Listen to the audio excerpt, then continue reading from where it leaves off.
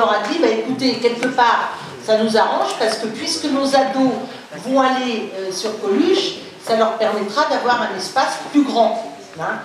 Euh, mais le problème, c'est que le personnel, visiblement, le personnel de la ludothèque n'a pas du tout envie euh, d'aller à la médiathèque. Donc, actuellement, je suis en train de, voir avec Michel le prêtre, parce que nous, de toute façon, nous, nous aurions éventuellement des locaux pour les recevoir et dans, à peu près dans, euh, enfin dans, le Val, dans le secteur du Val. Voilà. Donc ils ne sont absolument pas euh, dehors et nous sommes en train de travailler ça avec euh, Michel Le Prêtre, le président de l'EPT. Voilà les, les, réponses que je peux vous apporter ce soir. dernier point, Michelet. Alors Michelet. Alors Michelet, je ne sais pas quelle a été encore cette rumeur de dire elle va raser Michelet pour faire des logements sociaux.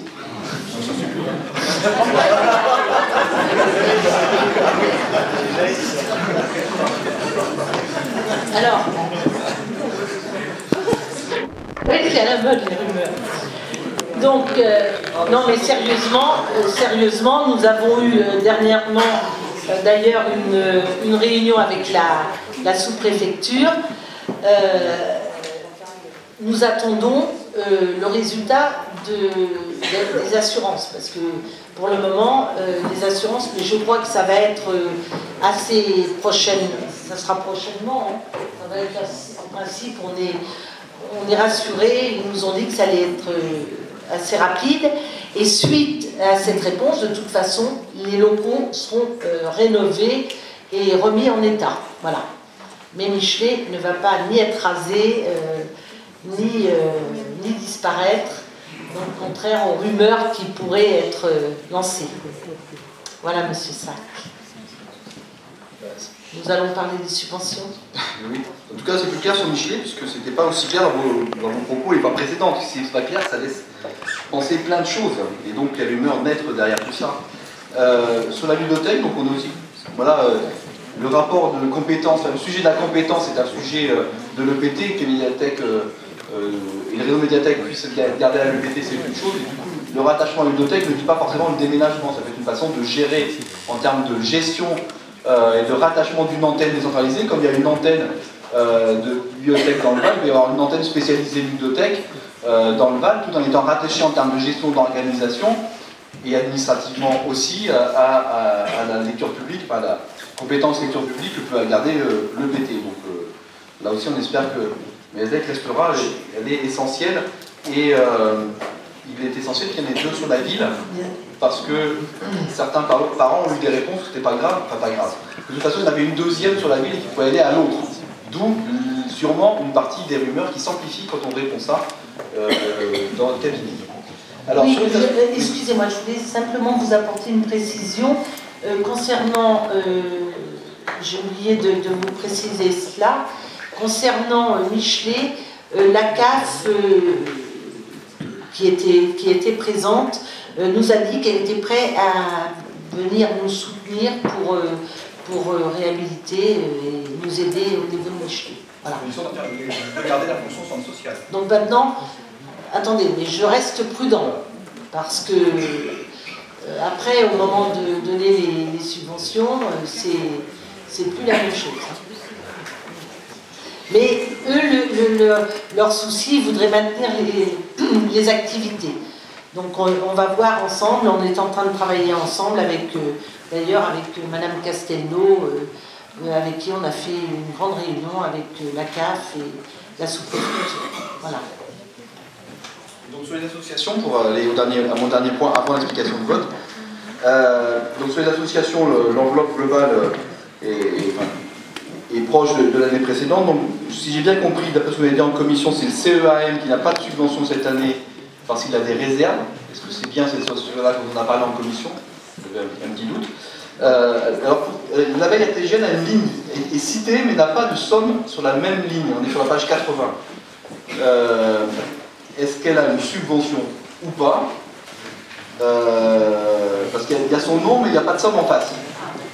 Donc, soit il faut enlever la ligne, elle n'a pas de subvention cette année, elle en avait, je crois, l'année dernière. Première question. Deuxième question, un peu du même ordre. Il n'y a pas IMATIS, alors plutôt une association qui a toujours des projets, qui a toujours des demandes supérieures à ce qu'on leur donne depuis des années. Donc il n'y a pas IMATIS dans la liste. Donc euh, pareil, deuxième euh, absente. Et puis une explication sur les anciens combattants qui ont une subvention qui paraît en baisse, puisqu'ils n'ont que 400 euros. et alors que l'année précédente, c'était beaucoup plus, même si il y a des années, il y avait des projets de portée. Alors, M. Bourg a quand même euh, était encore en gestion à l'époque, donc euh, peut-être qu'il connaît euh, le mot encore. Je peux répondre. On va laisser finir le D'accord.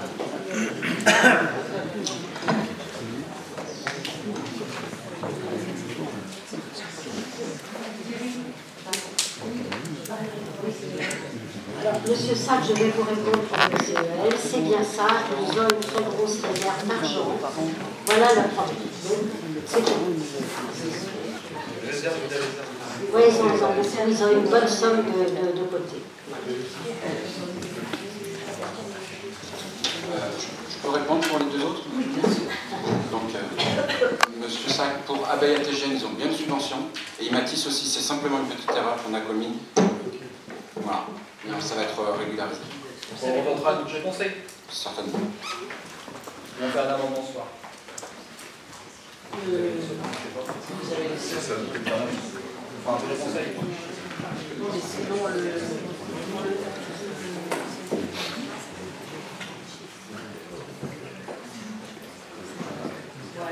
Au prochain conseil, on va faire des livres parce que sinon ça va nous décaler. Oui, non, c'est ne sais pas qu'il le sache. C'est pas sûr. Enfin, c'est simplement parce que, effectivement, il y a bien les balises également, qui est une excellente association. Y a-t-il d'autres questions sur ce. L'amicale des anciens combattants L'amicale des anciens combattants, il y a une forte baisse. Ils ont de la trésorerie, un budget exceptionnel l'année dernière pour les 90 ans. L'année dernière, ils avaient de... Tant que ça C'est un budget exceptionnel. Tant que ça, différence Oui, vous avez... C'est l'anniversaire.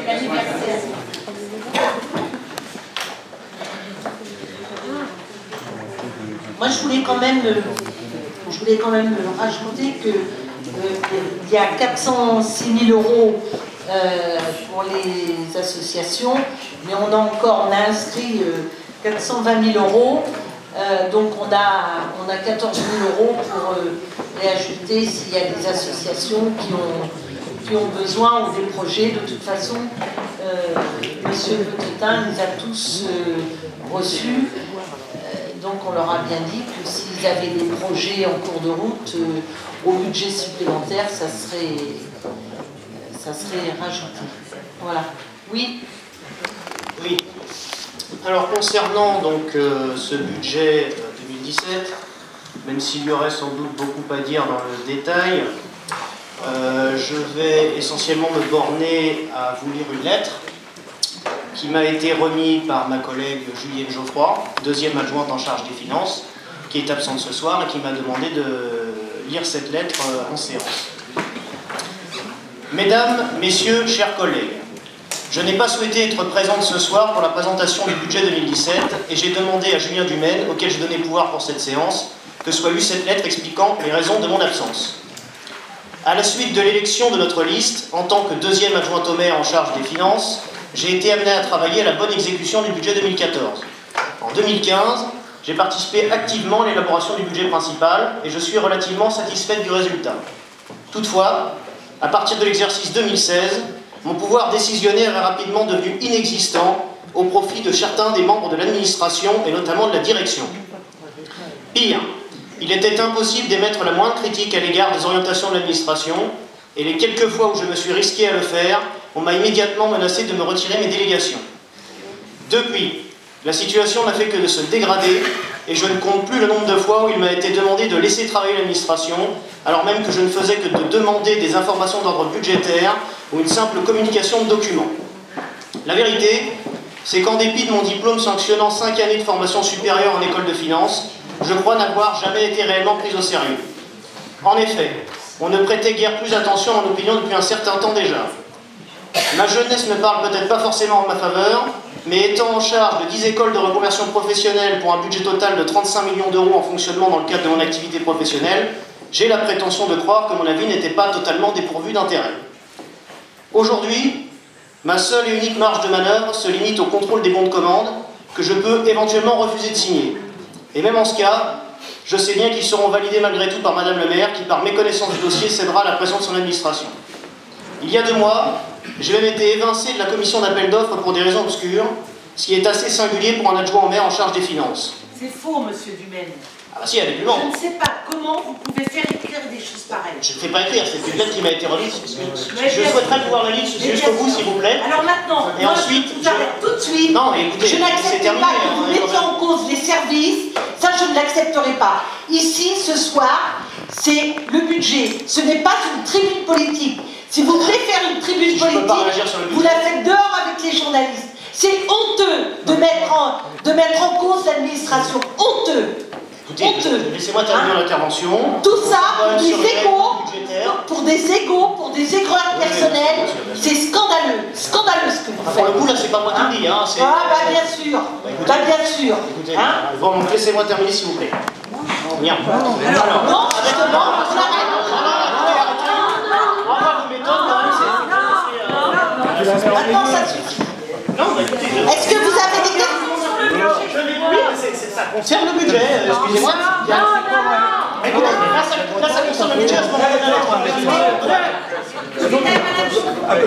S'il vous plaît. Je vais continuer l'intervention, je suis désolé. Euh, il faut quand même... Euh,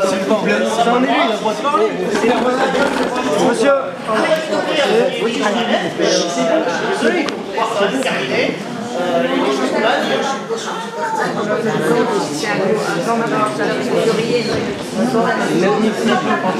tu devrais avoir honte. Jean, Jean, il était mort depuis deux jours. Que tu as. Deux, deux jours. Jean, Jean, Jean, il était mort depuis deux jours et tu n'as même pas eu la décence. De- tu voulais, tu voulais la place.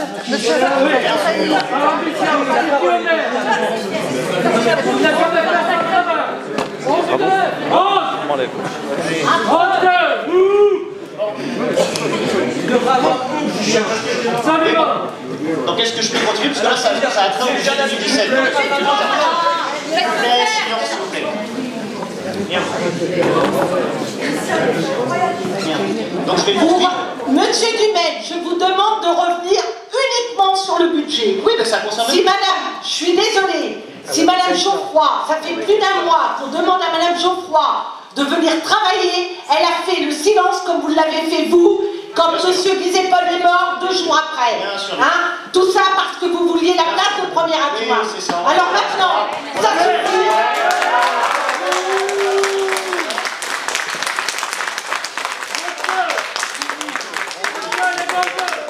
C'est une honte. Même l'opposition, jamais ils ont eu des attitudes comme ça.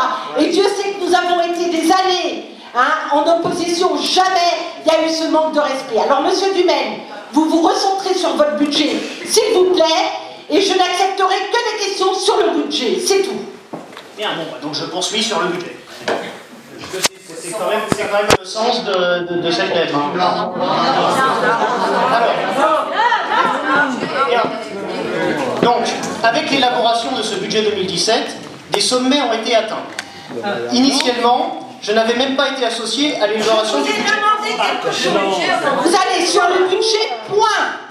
Sur le budget, je suis désolé, vous m'empêchez de m'exprimer, vous avez peur de ce qui va suivre. les calomnies. Et bien vous répondrez et vous direz... Madame Geoffroy viendra s'exprimer.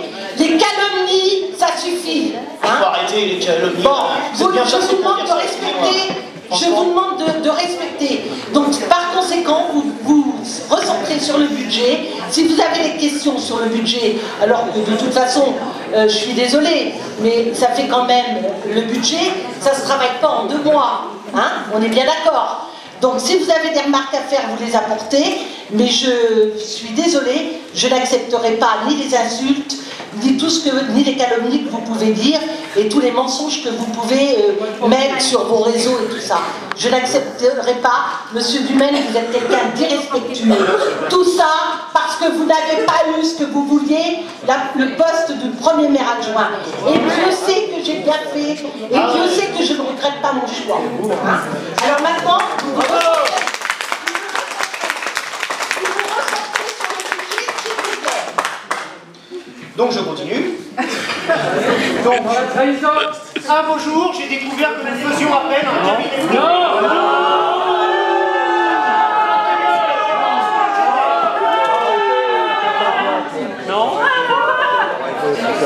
Franchement, c'est- c'est- c'est vraiment, euh, d'un point de vue de la démocratie, de la liberté d'expression, on est pas vraiment à des niveaux de...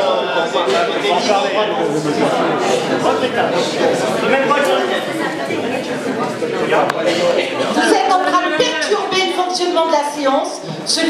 Budget. Je vous demande, Monsieur Dumaine, de vous recentrer sur le budget. C'est quand même une intervention qui, qui- qui- qui a lieu budget, je viens de le dire. Non, non, pas du tout. Là, ce sont des insultes envers les services. Non. C'est ac- inacceptable. Ça, on n'a pas la parole. Bien, donc. Donc j'ai été. Bon, nous vous avons fait appel à un cabinet privé chargé de travailler sur la plaît. J'ai été convié à cette réunion veille pour le lendemain. Hein, et je n'ai donc pas pu me libérer pour y assister. Il est déjà assez révélateur que nous ne soyons pas en mesure de préparer un budget en interne et que nous devons faire appel à un consultant extérieur. Pire, je n'ai été informé des conclusions de cette réunion qu'il y a des indiscrétions de la part du personnel communal. Madame le maire de allusif par téléphone, suite à mon insistance.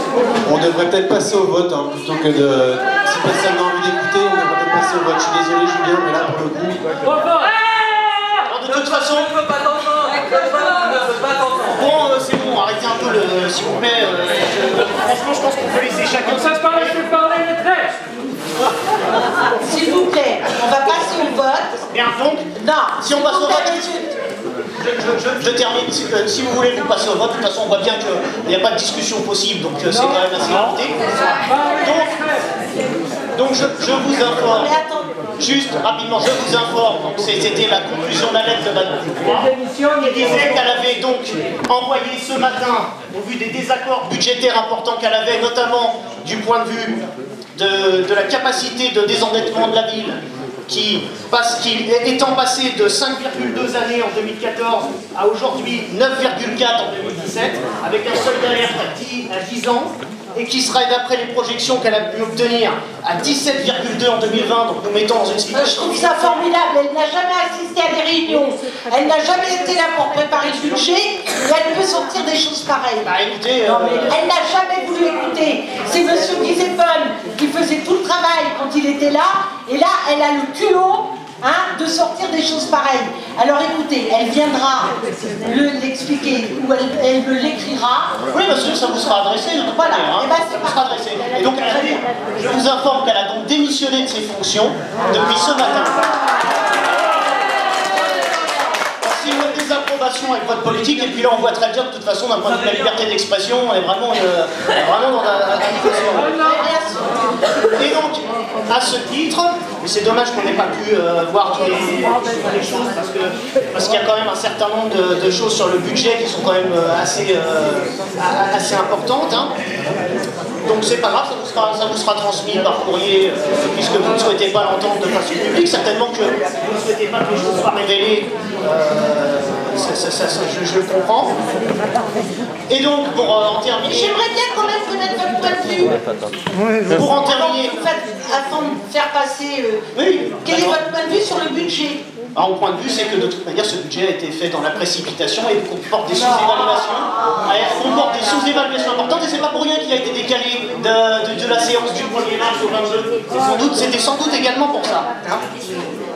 Et donc, et je suis désolée, il y avait des, des séances d'arbitrage qui étaient nécessaires pour, pour voter un budget vraiment euh, correctement. Bien sûr. Donc c'est pour ça que nous avons fait des séances d'arbitrage. Tout à fait, tout à fait. Dans sa lettre, Madame Geoffroy explique que c'était euh, essentiellement voué à la désinformation des autres élus. Madame Geoffroy, Euh, puisque de toute manière, elle était minimise la situation financière de la ville. Monsieur Sapena, veut parler. Mais juste, je, je termine rapidement. Je termine juste rapidement sur cette dernière chose. Je demande à ce que le budget soit voté suite à cette lettre que je n'ai pas pu lire. Je demande à ce que le budget soit voté à bulletin secret dans sa globalité, à l'exception du chapitre sur les subventions. Voilà. Et la loi le permet, je rappelle, au titre du Code général des collectivités territoriales. Donc si vous ne souhaitez pas accepter, je pense qu'on votera. Est-ce qu'on adopte un bulletin secret?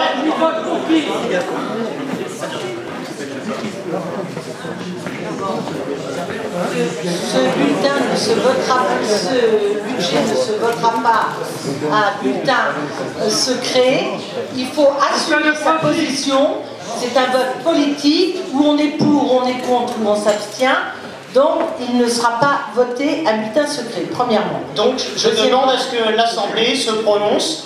Est-ce que qui est favorable à ce que le budget se vote à bulletin secret Puisqu'il faut qu'un tiers des membres euh, le souhaite pour que cette, euh, ce vote se fasse à bulletin secret. Donc je demande aux gens de, se- de se prononcer.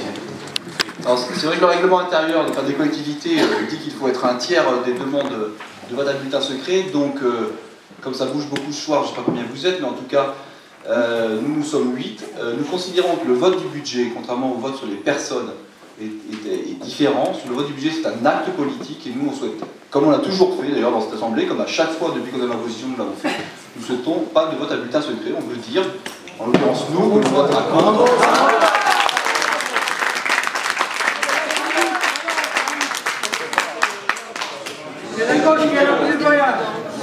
Euh, euh, et que et que le règlement intérieur euh, dit aussi théoriquement, je le dis pour le public, que l'enceinte dans laquelle un élu travaille doit être dans le silence sans aucune pression du public. Nous avons eu par le passé l'occasion de nous faire siffler également, moins que ce soir. hein. C'est parti. C'est pas la même chose. Je pense que voilà, le rôle c'est un débat, alors après on peut être hein, pas d'accord sur les contenus, c'est autre chose, en tout cas, euh, respecter le règlement, mais en tout cas, moi je souhaite que dans le public, euh, on respecte les paroles des élus. En tout cas, euh, c'est la règle aussi du règlement intérieur. En tout cas, pour le vote, nous nous voterons contre, pour plein de raisons, je ne vais pas détailler maintenant à ce stade, je l'ai dit un peu tout à l'heure, et nous souhaitons le faire à main levée, puisque nous assumons nos votes.